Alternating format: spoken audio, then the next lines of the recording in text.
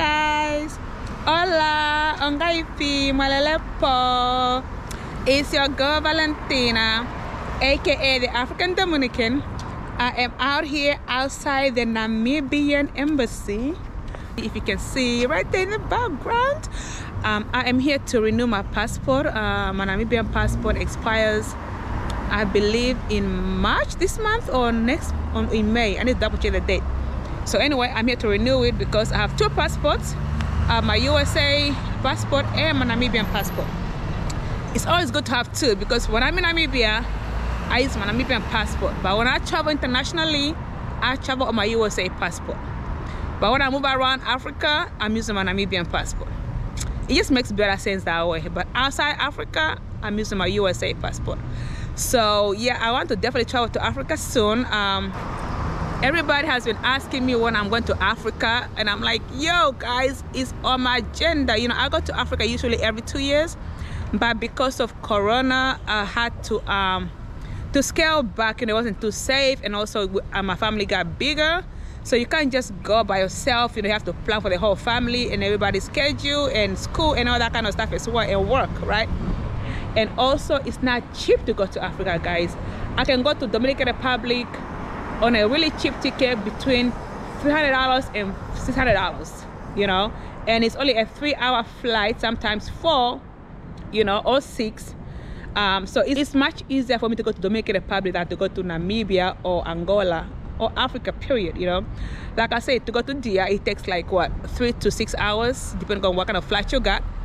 But then to go to Namibia slash Africa it takes about 18 to 24 hours to go there you know? And you don't just go for like two weeks or five days. You gotta go for a whole month right? Because you gotta make the whole trip there worthwhile. And also the ticket is expensive. Like to go to africa you have to look at like budgeting. Per person at least two thousand dollars per person you know? Because even the kids you know they, they, they gotta get their own seat. Because any child that's about the age of two they gotta pay for their own seat a regular adult seat. So it's not easy to go to Africa, guys. So you, you see me go to DR a lot because it's much easier. You know, it's like a short flight and I can go there for five days and come back. And also when you go to Africa, guys, you can't just go empty-handed. You know, you gotta like, you gotta have extra money to spend there. You know, because I mean, like, I'm an African going back to Africa. Like, I'm go- I'm not going on vacation basically. I'm going there to see family, and you cannot go empty-handed. You know, you have to at least budget three thousand dollars to spend while you're there. Minimum two to three thousand dollars minimum to spend while you're there. Because when you go there you got like you got buy food for the whole house pretty much. It, well not every house you know like when i go to namibia my dad's side of the family i don't really got buy much but i should. I should buy some stuff but it's already taken care of you know but my mom's side of the family. You know it's like you go there and it's like you gotta spend money. You like you like you you, you basically the breadwinner while you're there gotta buy food can help pay the bills. Mind you some some of us also like sometimes you already help with paying, paying the bills you know you already been sending money there to cover some bills or some emergencies. And when you go there you, you know you gotta like you gotta buy food you know you gotta you know people come to you with all kind of problems everybody wants this and that. So when you go there it's like you're like a bank. So you can't just be like okay let me pick up and go to africa. No you gotta plan do you have money to spend there? Do you have at least $2,000 to spend there? How about your ticket? Can you take off at least two, two, two weeks to four weeks from work? All right. And how many of you are going? Are you going with the whole family? You can't just go by yourself. If you go by yourself and you have family, everybody's gonna be looking at you like, where's everybody? Why are you here by yourself? You know, it's like we um like why are you here by yourself? We don't we've seen you before many times. Where's everybody? And then understand that hey, to come with the whole family, you gotta spend at least thousand dollars you know for each family member and then it's like food and everything. So yeah it's like people are there i don't think they understand that to come there is expensive. It's expensive. Airfare food to eat while you're there you know and also like taking care of the whole family. And when you're there like when i go to africa i never feel like i'm on vacation. I always feel like i am i'm just like living my other life you know yeah, I can sleep in a little bit late. Oh, sleeping in late. You can't sleep in that late, you know, because everybody wakes up so early in the morning. And I'm like, oh, like they start greeting everybody in the house. Eh. And if you sleep till 12 noon, I'm gonna be looking at you like, are you okay? Is everything okay? Are you feeling well? You sick? You're like, no, I'm on vacation for crying out loud. You know, because they all wake up early and everybody want to be around you. So you can't just have your me time like that. So you have to kind of have this mental thing going before you go there, you know. Um, so yeah, you like in, in most households, you know, you're like the breadwinner when you're on vacation. You buy food for everybody. Um, you pay for expenses, expenses. You know, tra traveling around, going here and there. You have to pay for gas. You have to pretty much pay for everything. And then also, um, some some of my friends, you know, like they told me that when they go to Africa now, they, they, they book a room in a hotel. But sometimes it's actually cheaper to just book yourself in a hotel. It's more peaceful to just book your hotel room and then go and visit your relatives. Don't even stay their houses. So some, some of my friends have started doing that. So I think I'm gonna start doing that too. I mean, I love my family, but sometimes to have your own privacy and to really feel like you're on vacation and do things, you know, by your own time and schedule, you have to kind of book yourself into a hotel or an Airbnb Because if you stay with relatives, oh no, they are, yeah, you're gonna be like, ah, everybody wants to see you, everybody wants to get up early, you gotta do this and that. So, yeah, so sometimes you just go to book your Airbnb, stay there, and then go and visit everybody else. But then if you do that, the family will ask you, why are you staying in Airbnb when we have a room in the house? We have a whole room for you. Why are you staying somewhere else. They won't even get it. They'll think you're wasting money, but really you're saving money by staying in an Airbnb that's staying with them in a house. Because like you can buy all food just for you and your family.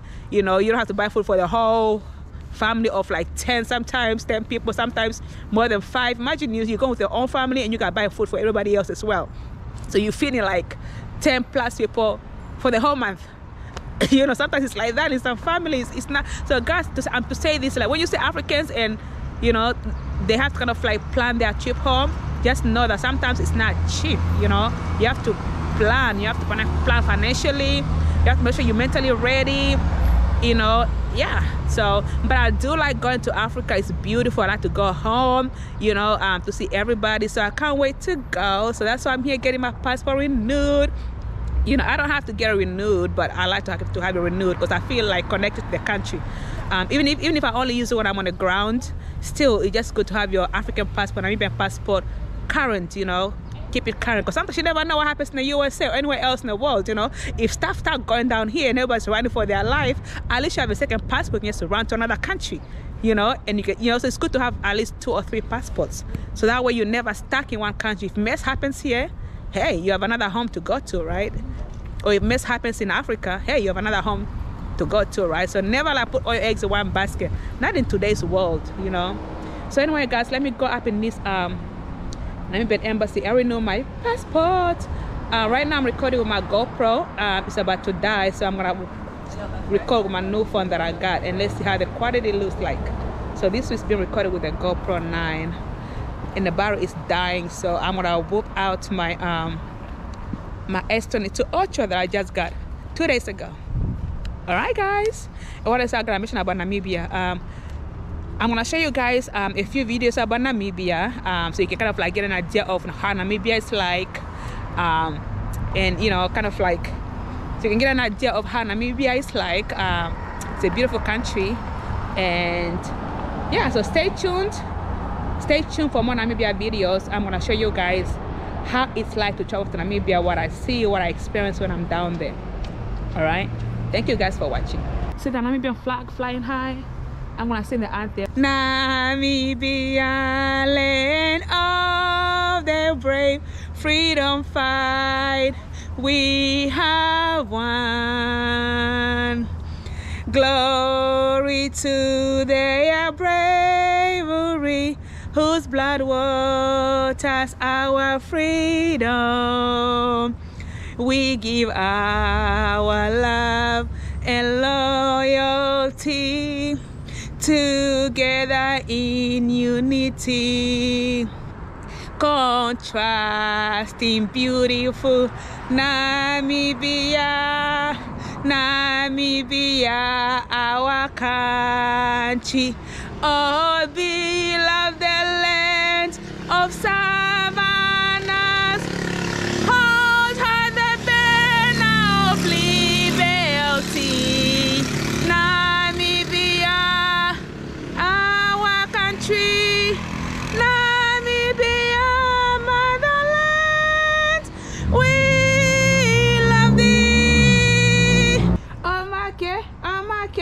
means applaud, applaud. So applaud for me, guys.